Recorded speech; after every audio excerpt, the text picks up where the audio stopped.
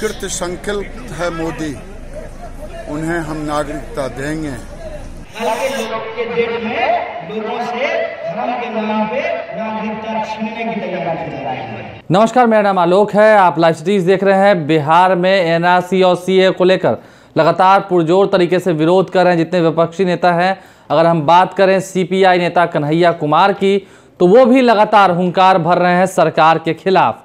देखने वाली ये बात है कि एक बार फिर से लड़ाई शुरू हो गई है जबानी माध्यम से गिरिराज सिंह और कन्हैया कुमार के बीच में। दोनों ही केंद्र में रहते हैं, केंद्र से सत्ता को देखते हैं, वहीं से टिप्पणियाँ करते हैं। आ चुके हैं बिहार। बिहार ही पहुँच चुके हैं गिरिराज सिंह, बिहार ही आ चुके हैं कन्हैया। दोनों के बातों को सुनिए। एक एनआरसी और सीए के समर्थन में बोल रहे हैं, वहीं दूसरी ओर कह रहे हैं?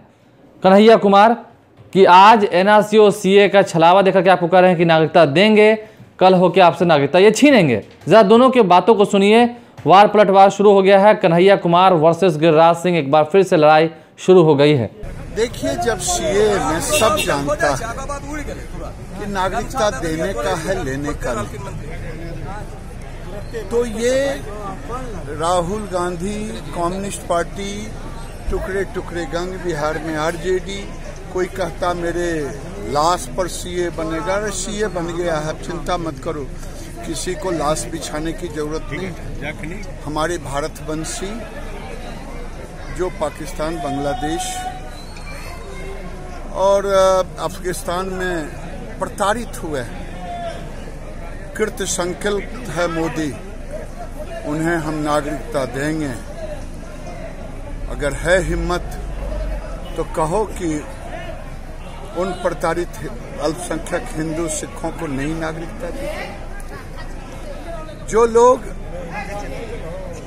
मुसलमानों को बहका रहे हैं, मैं मुसलमान भाइयों से कह रहा हूँ, किसी की नागरिकता नहीं जाएगी।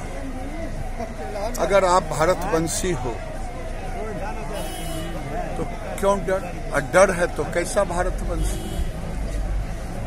इसीलिए ये लोग देश को तोड़ना चाहते हैं। सैतालीस में भी कुछ लोगों ने देश को तोड़ने के लिए जिन्ना के साथ हुए थे।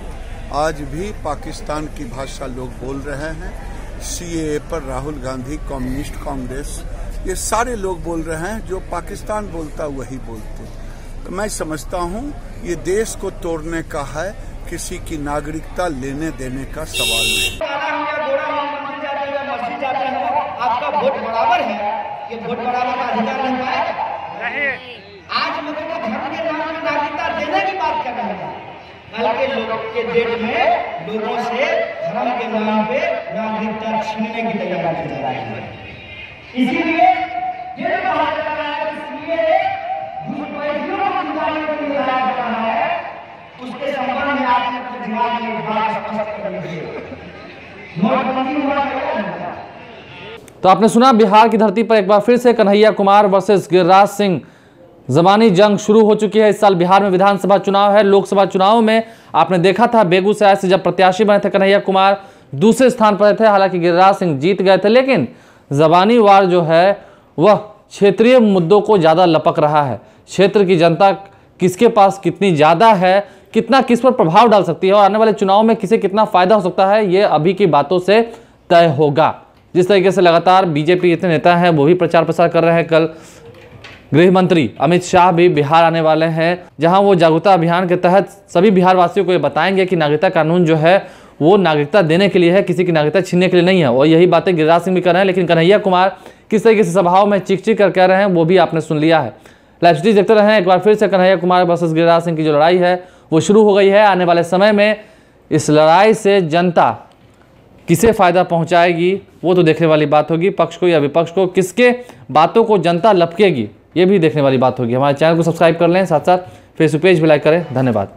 कृत संकल्प है मोदी उन्हें हम नागरिकता देंगे। के लोग में लोगों से धर्म के नाम पे नागरिकता छीनने की तैयारी चल रही है।